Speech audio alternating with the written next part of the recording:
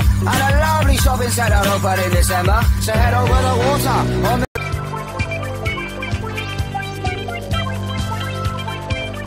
Shelter in place or specific information about the emergency.